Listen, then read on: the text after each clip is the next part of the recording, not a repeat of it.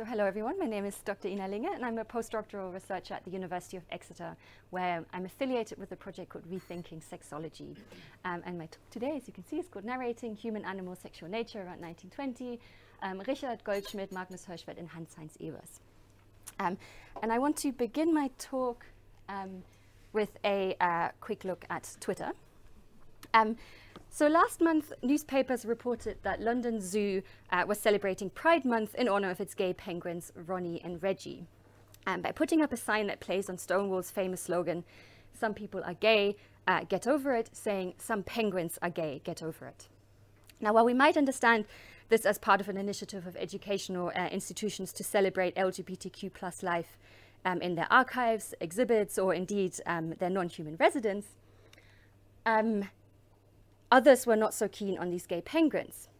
So this um, self-described um, Catholic uh, journalist, Caroline Farrow, um, saw in Ronnie and Reggie a decadent celebration of personal lives that she wanted uh, to be no part of. Um, and others, such as political activist for transgender rights Christine Burns, pointed to the work of biologist Joanne Roughgarden, who shows that same-sex behavior is far from unusual amongst non-human animals. Caroline Farrow was ridiculed for her um, comment um, that animals do not exhibit human sexuality. Well, yes, they're not human. Um, but her comment does point to two big elephants, or maybe two gay penguins, in the room. And the first one is, is this really about accepting that some penguins are gay and to get over that? Or is it not very much still about human sexuality and acceptance? And Ms. Farrow's vehement rejection of penguin human sexuality reveals the political potency of, uh, of naturalizing sexuality um, across species. So in my talk today, I want to give you a brief glimpse into how uh, um, early 20th century sexual scientists and sexology adjacent writers constructed, and as I want to show, narrated sexual nature across species boundaries. A narrative is important here because few things require narrative as much as sexuality does.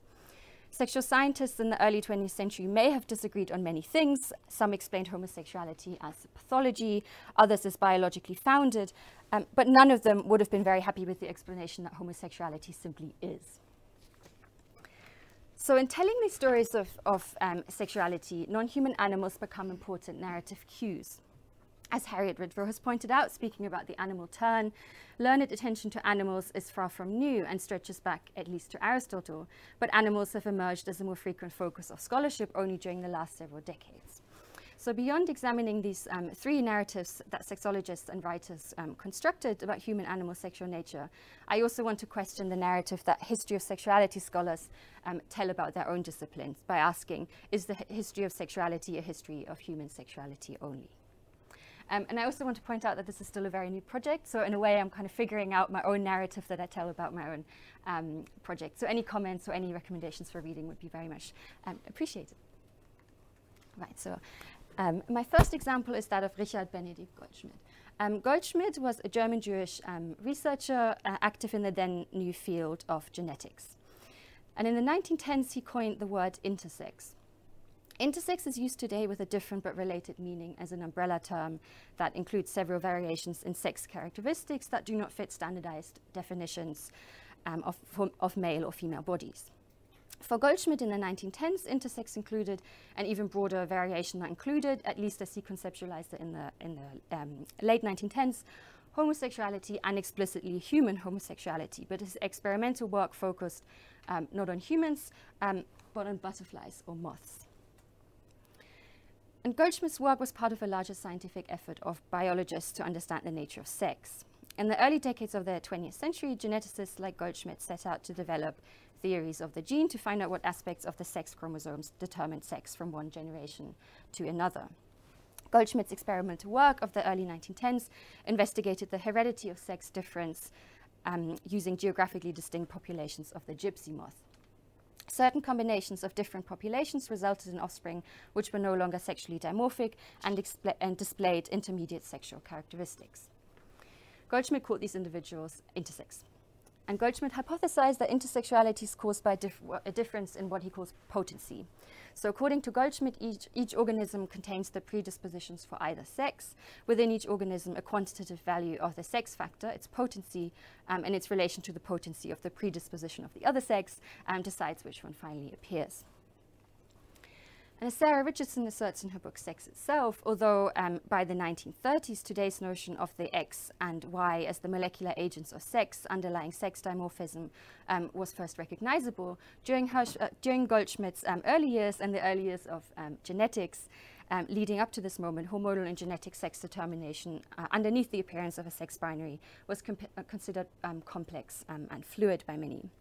And these scientific discussions of the sex problem were closely embedded in the political, um, social and cultural circumstances of the early 20th century. They were informed by um, and informing broad um, debates about eugenics, feminism and theories um, of race and, the, and, and also the larger social concerns of modernity. So, for example, changing context of, of gender relations um, and sexuality, in particular homosexuality. In 1916, Goldschmidt catapults himself directly into these political discussions by publishing an article in which he argues that his butterfly experiments are of relevance to the study of human intersex, suggesting that homosexuality was one such form um, of intersex in humans. Although Goldschmidt's work hardly ever commented on issues as politically charged as uh, the topic of homosexuality, um, Christopher Kohler argues that Goldschmidt was frustrated with um, sexologists in particular um, who lacked a spe um, specialist knowledge in biological sciences and genetics, um, weighing in on the sex question. And Mike Dietrich also argues that Goldschmidt used the experimental nature of his um, research as a means both of claiming greater authority to speak on the science of intersexuality and of differentiating, differentiating himself uh, from the sexologist Magnus Hirschfeld, who we'll come to in a minute, um, and others. So for Goldschmidt as a geneticist looking towards butterflies to explain human uh, sexuality is both very mundane and highly uh, controversial. For early geneticists, non-human animals provided an obvious and necessary model organism uh, for discovering issues relating to human sex and sexuality. But to incorporate sexual variation uh, into the basics um, into the basics of genetic function led to controversial and complicated um, conclusions as Goldschmidt's butterfly experiments were co-opted for various uh, political uses. For example, um, Helga Satzinger has shown that the eugenicist Fritz Lenz used Goldschmidt's work to argue that interracial sexual contact was the cause of degeneration because it supposedly led to the erosion of a clear sex binary. So Goldschmidt's research itself telling a narrative that shows um, how research in the new science of genetics can speak with authority to pressing issues of the day um, lends itself to variously um, politicized narratives of sexual nature. Um, which brings me to uh, my second uh, case. Um, so in the second case, I want to focus on, on one such example of how Goldschmidt's research was incorporated into a narrative of sexual nature with political consequences. Goldschmidt's article in which he links butterfly intersexuality to human homosexuality triggered a flurry of responses um, by sexologists. And I'm going to present one example here today, that of um, Magnus Hirschfeld, but if you're interested in finding out more about the other responses, then you can check out my forthcoming article in the History of Human Sciences where I talk about the other sexologists' responses. So Magnus Hirschfeld was a German-Jewish um, sexologist based in Berlin who worked as a sexual rights activist, writer, publisher, and practitioner, and was the founder of the first Institute of Sexology. His most well-known scientific contribution to the study of sexology was his theory of sexual intermediacy, which argued that any form of sexual um, of sexual intermediacy was part of the natural constitution of body and mind, um, rather than acquired through seduction or the result of degeneracy. Sexual intermediates not only included homosexual men and women, um, but all forms of uh, gender and sexual variance as he perceived them, including um, transvestites, which is a term that, term that he coined in, in, in 1910. When Hirschfeld first opened his Institute of Sexology in 1919, he immediately introduced a butterfly breeding station in order to, and I quote, uh, conduct bastardization experiments and achieve intersex variations through crossbreeding. And this connection between human sexuality um, and butterflies or moths shouldn't really uh, surprise us anymore at this point. Um, Hirschfeld was deeply invested in developing a biologistic model of homosexuality and other forms of uh, sexual intermediacy. Debating sexual diversity with the help of non-human actors reveals a pressing uh, sexological concern for the meaning of nature and naturalness for discussions of gender and sexual diversity. Nonetheless, Hirschfeld's interest in butterflies, and, and, Goldschmidt's in particular, was not just guided by a grounding of sexuality in biology rather than pathology, but by a complicated and politicized concern for methodology. Much as Goldschmidt was concerned with um, presenting genetics as a new science that could stand on its own legs and contribute to pressing issues of the day, um, Hirschfeld was very much concerned with establishing uh, and strengthening the field of sexology. Sexology quickly became influential in the first decades of the 20th century because sexologists came from all walks of life, um, drew on many disciplines, and worked with a variety of methodologies. So, medical professionals, um, endocrinologists, activists, eugenicists, lawyers, writers, sex educators all form part of the sexological network. Um, but this was also problematic because as a discipline, uh, it lacked a kind of definitive, um, um, definitive um, methodology. And in a talk from 1923, Hirschfeld lists major scientific work on sex in biology, endocrinology, and genetics as having followed in his footsteps. Um, in his list, he mentions Goldschmidt not as a geneticist, but as an experimenter, and later it's precisely this experimental approach to the study of sexuality that somewhat irks him. And he writes, um, when I drew up the study of sexual intermediate stages, I based this on purely clinical observations, but drawing on the broadest possible material, which did not come to me, but which I sought out. Each patient file collected in a consultation, even that of the most prolific psychiatrist, only shows a one-sided view. And as important um, as the findings of artificial breedings of bugs and butterflies may be, which have caused a deserved stir amongst geneticists, by far more value comes from studying the results of breeding, which nature herself has done. So Hirschfeld's um, criticism of Goldschmidt's work on butterflies is that the uh, conditions of his experiment of, of Goldschmidt's experiments are um, apparently artificial, so that Goldschmidt uses animals as a as a kind of form of technology. And for Hirschfeld, observing the homosexual at a club um, or bar or the cross-dresser navigating metropolitan Berlin, uh, which he did, and he wrote a book about this uh, in 1904 called um, Berlin's Third Sex, um, to do so is to observe nature in its natural habitat common expectations of what is natural uh, and, and what's artificial are, are really interestingly inverted uh, in this approach, I think. Um, and Goldschmidt's experimental studies, which are uh, artificial, provide useful scholarship to draw on, but these artificial experiments must be advanced through sexological um, observation in nature. So for Hirschfeld, non-human animal sexuality or sexual um, intermediacy supported his argument of the naturalness of homosexuality and other forms of sexual intermediacy. But he, also, he was also wary of the implications of using experimental rather than observational approaches to the study of nature. So this image here um, is taken from one of Hirschfeld's publications, um, and it shows intersex butterflies found on Hasselwerder Island near Lake Tegel in Berlin, uh, where Hirschfeld also lived. Hirschfeld was deeply interested in exploring homosexuality in its natural habitat, and he might have had particular interested, uh, a particular interest in local um, intersex butterflies, as these are caught in nature. Comparing lab-bred butterflies to the homosexual population of Berlin could have also been interpreted to imply a sense of breeding and purpose in homosexuality. So strategically, uh, Hirschfeld might have found it more suitable to find butterflies um, in the wild to support his view that homosexuality is naturally occurring um, rather than cultural, a cultural or cultivated phenomenon. Okay, so my final case looks at a very at, at a popular scientific and literary narrative um, of human-animal sexual nature.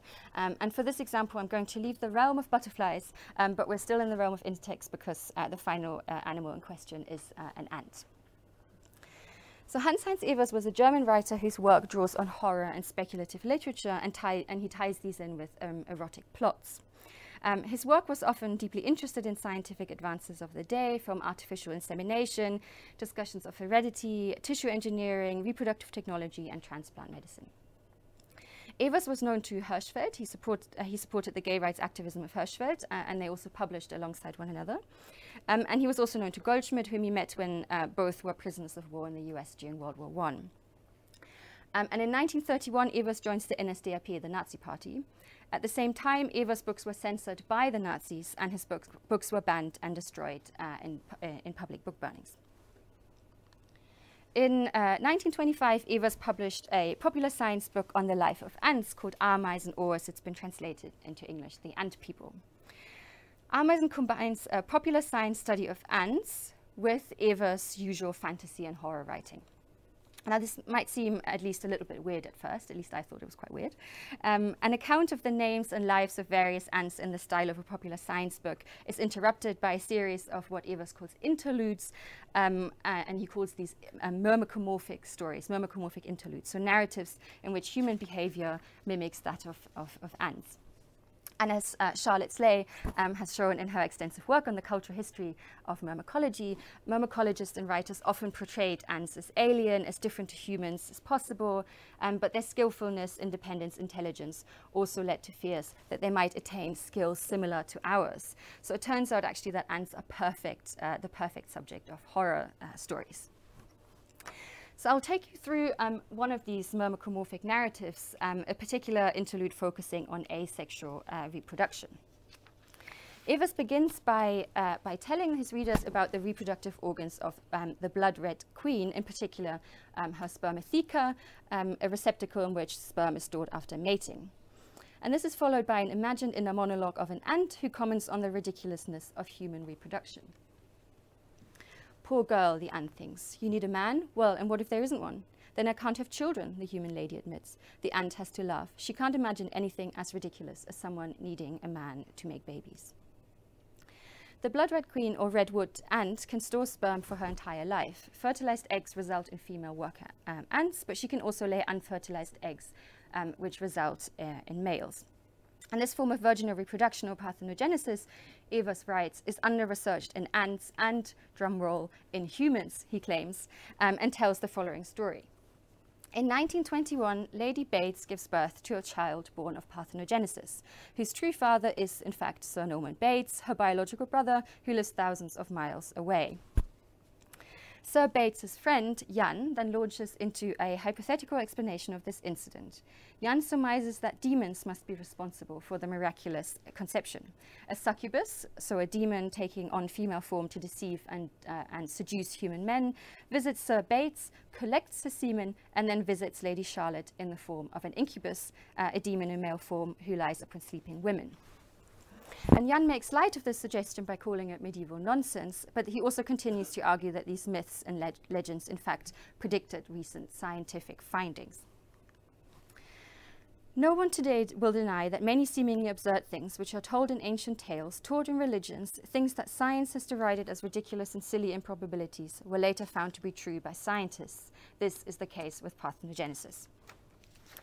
So the legends of succubus and incubus become predictions of new scientific findings. In this case, that, um, as he later goes on to explain, that chemical impulses may trigger parthenogenetic um, reproduction. And he's most likely referring to um, the work of Jacques Loeb here, who performed experiments on artificial um, parthenogenesis on sea urchins with the help of chemical stimuli. Tanja Nusser and Irmela Marie Krüger-Fürhoff have argued that Ewers' novels make the new tellable by utilizing the, the, the old. So new scientific findings further enable us to tell the stories we already know. But if we return to the framing of this interlude as, uh, as myrmecomorphic and the inner monologue of the ant uh, sniggering at the stupidity of human women, we can see that the story also um, ridicules uh, sexual morality in humans. Because can anyone imagine an ant making such a fuss about parthenogenesis?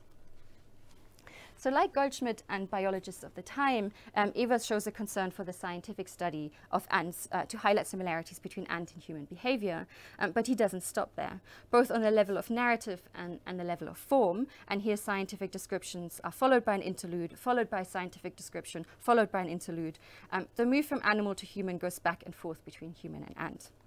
These are, uh, these are anthropomorphic and myrmecomorphic stories. They portray a reciprocal relationship between human and non-human animals. If they are like us, are we like them? And if we are, and there is a shared sense of sexual nature, why are some forms of sexual behavior called perverse and unnatural by humans, but perfectly natural by ants? or for ants. Um, and Ewers' description of ant life and human life, human prudishness about sexuality appears ridiculous. While Ewers certainly supported um, Hirschfeld's idea that homosexuality should not be criminalized, he despised the idea of linking nature to morality at all. In 1924, as he's writing The Ant People, um, Ewers writes to Richard Goldschmidt several times, um, sending him a series of humorous ad memoriam poems about ver various myrmecologists, which is particularly macabre seeing as all of them were still alive at the time. Um, and in one of them, he ridicules the myrmecologist and Jesuit priest Erich Wasmann by writing that um, Wasmann turns every bit of poo into a proof for God's omnipotence. So Ewers rejects this move from nature um, observation to the human realm um, of religion. He doesn't draw conclusions from animal behavior or biology to apply these findings um, to humans. Instead, he says um, that we can already see this behavior in humans. Just like myths have already predicted what science claims to be new, human life already shows a capacity for variations um, on heterosexual reproduction that show a queerness that exceeds the normative expe expectations of natural um, reproduction. So to, um, to conclude very briefly, um, I, I, hope to have shown that scientific or pop scientific um, discussions of sex and sexuality um, made extensive use of non-human animal evidence to tell different stories about both how humans and non-human um, animals relate um, and the meaning we can draw from, from so-called natural sexual diversity. Like the gay penguins at London Zoo, these narratives are, of course, in many ways about human sexuality.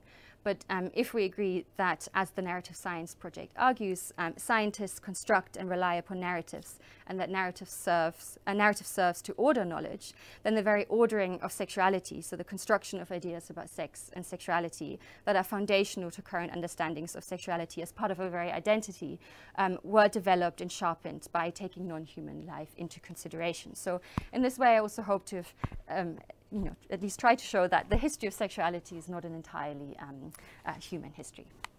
Okay, uh, thank you very much for your time, and I think we've got time for questions, yeah?